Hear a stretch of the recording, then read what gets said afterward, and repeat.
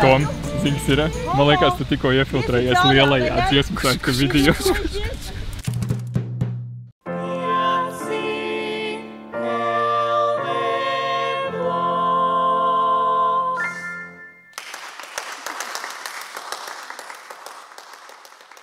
Labrīt, es esmu Toms un man aiz muguras pavaras jau trešais saulēkts šajā 5LV vloga speciāla izlaidumā. Mēs šobrīd atrodamies Siguldā, Paradīzes kalnā un tāpat kā iepriekšējās epizodēs, līdz pat saulrietam mēs dosimies ceļojumā, lai dokumentētu jauniešu dziesmu un deju svētku. Šajā epizodē laiks vidzemē. Bez liekas vilcināšanās, saulēkts redzēts, laiks doties tālāk.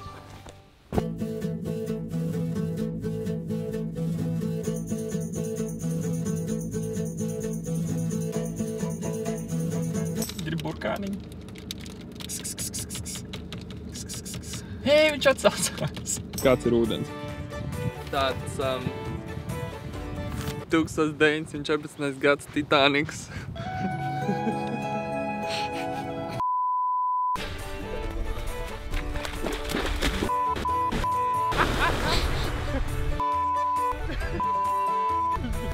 Ugh.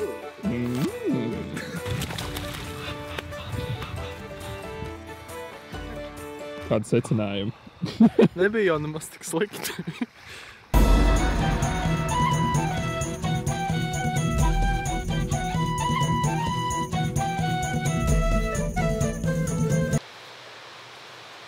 Ir 1864. gads. Mēs atrodamies Dikļos, tulītās, tulītās. Vai nu šeit, vai uz tā kalna pulcēsies 120 dziedātāji, lai ieskandinātu pirmos latviešu dziedāšanas svētkus.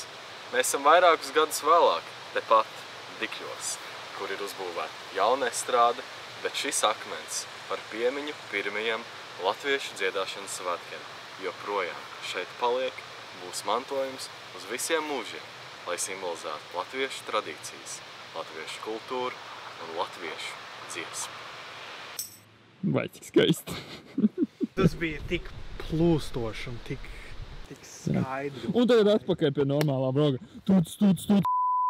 Pirmajās minūtēs ierodoties Nēkenkalna estrādē, mēs nodomājām, kāpēc šī instalācija šeit atrodas. Bet tad bez liekas domāšanas nodomājām, ka tas ir tikai skaistumam. Bet atceroties, ka pirmajos dziedāšanas svētkos piedalījās seši kori, mēs izskaitījām stabus.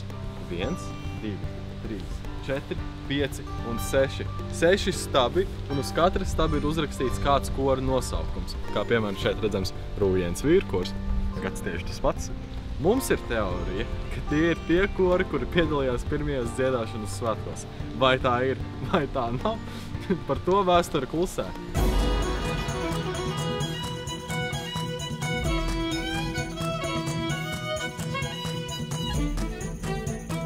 Tagad mēs esam nonākuši aizkrauklē. Pirms aizkraukla Jā, lūksne. Visticamāk, man pēdējo reizi tur redzēja dikļos pirms dažām sekundēm, bet realitātē mēs esam trīs, aptuveni trīs stundas ceļojuši pa vidzemi un esam sasnieguši divus lielus sasniegumus. Pēduši pusdienas un es esmu kārtīgi pagulējis. Tad mēs atrodamies Alūksnē, pavisam drīz sāksies pūtēju orķestra koncerts.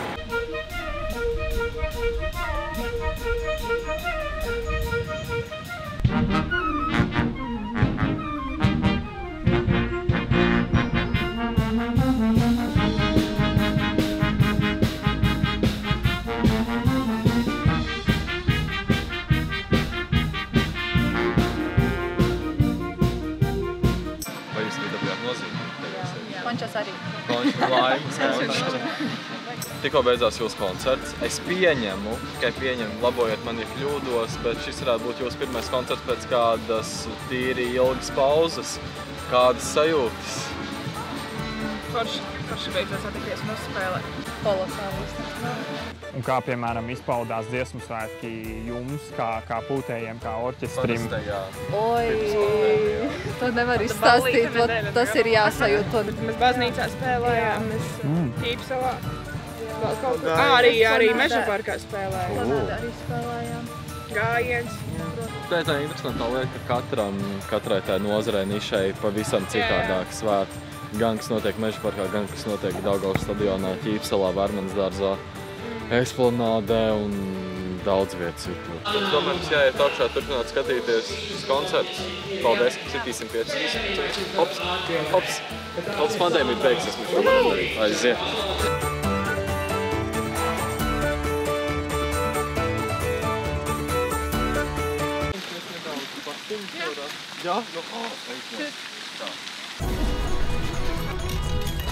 Mums vajag lūdzu apdeitu, kas ir noticis. Neviens nevēlas šo ratu ņemt. Kā tu viņu dabūji? Es vienkārši paprasīju un iedevu un pateicu, ka tā ir mana problēma. Tom, cik ir? Man liekas, tu tikko iefiltrējies lielajā dziesmu svētku video.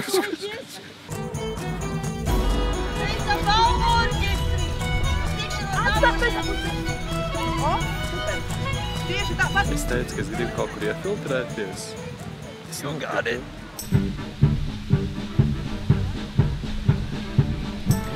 Paldies, Alūks! Tu biji fantastiska pret mums.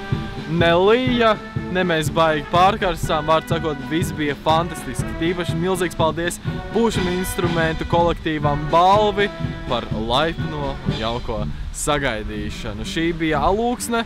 Tagad laiks doties uz mūsu noslēdzošo galamērķi šodien uz Cēsim, kur mēs sagaidīsim saulrietu un satiksimies ar vēl dziesmu un deju svētku dalībniekiem. Tiekamies Cēsīs!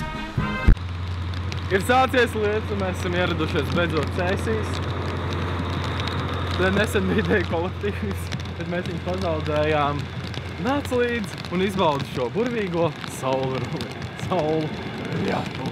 Es vairs neesmu viens, es esmu noķēris cēsu deju kolektīvus, nevis vienu kolektīvu, bet veselu sortimentu ar cilvēkiem, kur ikdienā dejo tautiskās dejas. Diemžēl visu vārdus es neesmu paspējis iemācīties, tāpēc es došu šo pienākumu Alai. Sāksim no tā gala. Ā, Tas ir Kristaps, tā ir Evija. Viņi ir no dekolektīva Randiņš.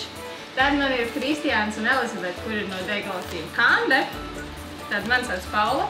Un tā ir Ravita un Dagnis, kas arī ir no dekolektīva Randiņš. Kas jūs lielākoties mudina?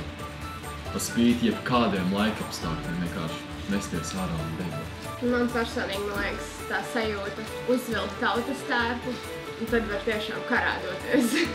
tā kā tā ir tāda ļoti pacelāta un uh, sirds sildoša sajūta uzvilkt tā latviešu tautas tērpu. Vai jūs dejojāt zumā? Jā, tā bija vadīta! Bija interesanti no sākuma pārbīt visas savas, savas mēbeles istabā, tā lai tev ir visvairāk vietas, sataisa savu vecāko lampu, tā lai tev ir baigais studijas apgaismojums. Bērni tiešām ā, gribēja pieslēgties vismaz ā, tās divas reizītes nedēļā viens otru ieraudzītajā ekrānā. Manuprāt, ir arī svarīgi tas, ka ne tikai tu redzi tos savējos dejojumu, bet arī tiešām, kad arī citi, citās pilsētās bērni arī dejo. Un, ā, kad izrādās, ka tā ir tāda nodarbe, ko tiešām daudzi dara. Nevis es te viens pats eju pie kaut kādas tantes, kas man man liek kaut ko dejot. Kā tante.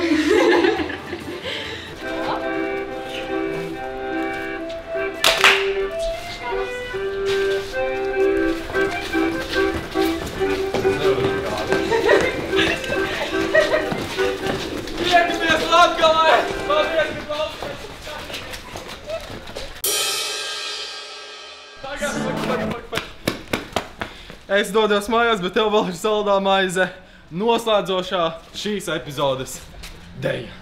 Atā, tiekamies nākamajā epizodē!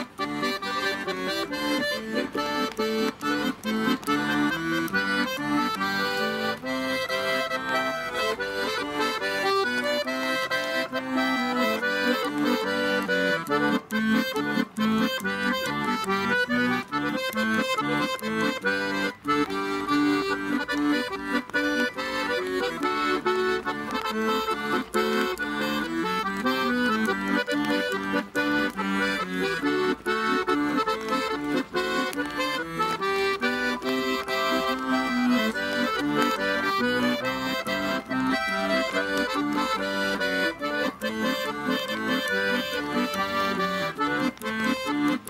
you.